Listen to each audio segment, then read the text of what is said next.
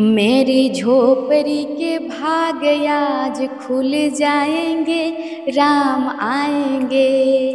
मेरे झोपड़ी के भाग आज खुल जाएँगे, राम आएँगे।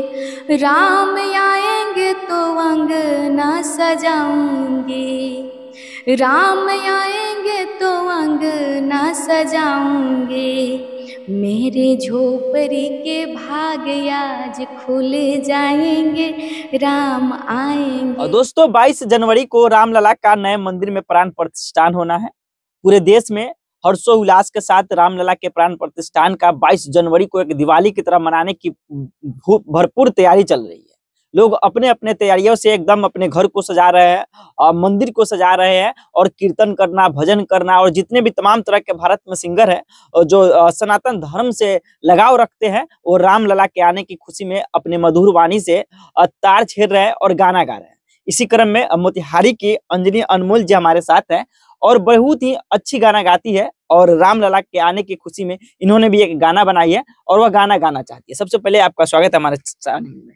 चलिए बहुत बहुत धन्यवाद आपको और आपके चैनल से देखने वाले जितना भी श्रोतागण है सब किसी को मेरा प्रणाम। अंजलि जी बाईस तारीख को रामलला आने वाले हैं। अब हम चाहेंगे कि कुछ अपने मधुर वाणी से रामलला के आने की खुशी में आ, कुछ धुन हो जाए। जी जी बिल्कुल। हम्म, मेरी झोपड़ी के भाग आज खुल जाएँगे राम आएँगे।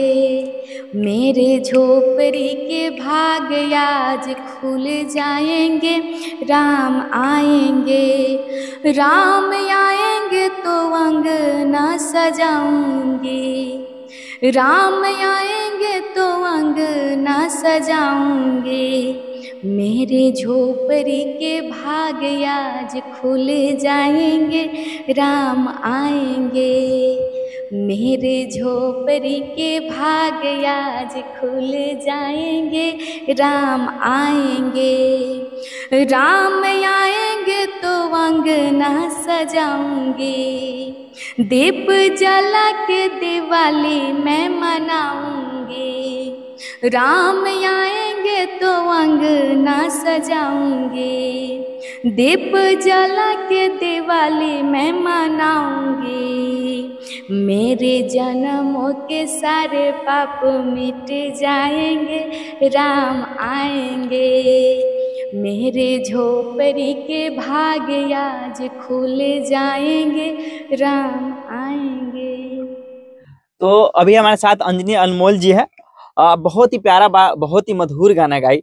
इस गाने के माध्यम से तमाम भोजपुरी श्रोता और तमाम भारतवासियों को क्या कहना चाहेंगे? हम यही बोलना चाहेंगे कि जो 22 तारीख का हम लोग का दीपावली है माने हम लोग का दीपावली है हम्म, हम लोग उस दिन पूरा भारतवासी हम लोग अपने अपने घर पे दीप जलाएँगे।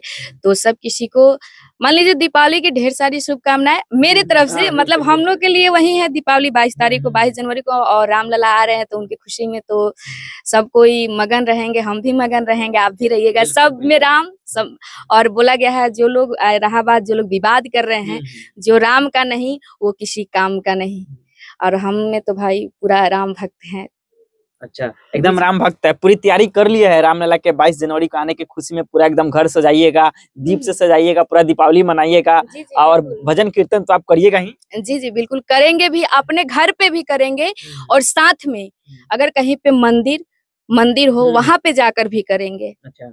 जी। अच्छा अपने श्रोता को क्या कहिएगा? जो अभी भी बहुत सारे लोग होते हैं, अपने काम में व्यस्त होते हैं, इस चीज़ों को नहीं जान पाते हैं, लेकिन मुझे नहीं लगता ऐसा कि कोई सा ऐसा भारत के कोई भी व्यक्ति होगा, जो रामलला के आने का जो समय, तारीख फिक्स हुआ है बाईस जनवरी, उनसे परे होगा। लेकिन फिर भी हमारे चैनल के माध्यम से उन सभी लोगों को क्या कहिएगा? हम यही बोलने चाहेंगे ऐसा तो नहीं है हर कोई जान रहे हैं। तो सब कोई तो अपने अपने घर पे दीप जलाएँगे ही।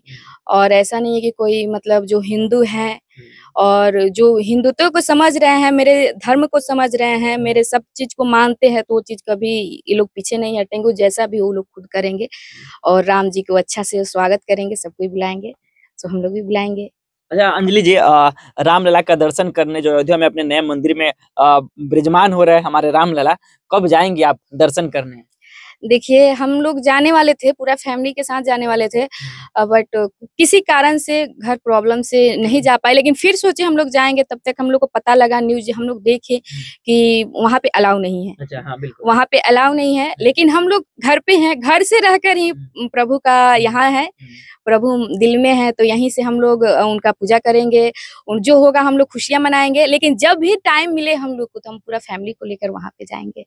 ऐसे में उत्तर प्रदेश की सरकार जो है वहाँ की वरीय प्रशासन जो है उन्होंने अनुरोध भी किया है कि 22 तारीख तक ज़्यादा से ज़्यादा संख्या में नहीं है जिनको पास मिला है वही व्यक्ति आइए। आप इससे अंदाज़ा लगा सकते वहाँ पे काफ़ी भीड़ होने वाले देश विदेश से लोग पहुँचने वाले कई बड़े बड़े गणमान्य लोग पहुँचने वाले हमारे जितने भी संत गुरु है धार्मिक गुरु है वो सभी लोग वहाँ पहुँचने वाले जिसको लेकर वहाँ के वरीय अधिकारीगण उत्तर प्रदेश की सरकार हाथ जोड़कर विनती की है कि आप जहाँ है भारत में जहाँ है वहाँ हर्षोल्लास के साथ रामलला की पूजा करिए मिठाइयाँ बांटिए खूब दिवाली मनाइए और अपने आप को गौरवान्वित महसूस करिए कि आपके जीवित काल में रामलला का प्राण प्रतिष्ठान होने जा रहा है वो भी 22 जनवरी को क्योंकि यह लड़ाई छोटी नहीं थी क्योंकि 500 वर्षों से लड़ाई लड़ी हमारे पूर्वजों ने तभी जाकर यह मुकाम मिला परिणाम मिला जिसका परिणाम अपनी आँखों से देख, देखने जा रहे हैं। यह इस सबसे बड़ा सौभाग्य इससे बड़ा सौभाग्य हम सबों के लिए नहीं हो सकता। बाकी अंजलि अनमोल जी जो गाना गाई अपना राय भी कमेंट बॉक्स में लिखेगा और आप भारत के किसी भी कोने में हैं। जहाँ भी है 22 जनवरी को रामलला की आने की खुशी में अपने घर पर दीपावली ज़रूर मनाइएगा। बाकी जय श्री राम आप सभी भक्तों को। जय श्री राम।